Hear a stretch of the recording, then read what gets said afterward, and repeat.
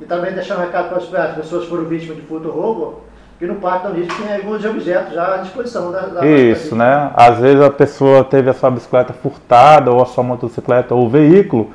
A, a polícia militar, a polícia civil recupera esses objetos e a gente conta para a população que foi vítima, né, que pode comparecer aqui na delegacia e verificar se seu objeto foi recuperado, né, tendo em vista que foram bastante objetos, tem bastantes objetos aqui a gente está à disposição para tirar qualquer dúvida ou até mesmo restituir mediante a comprovação.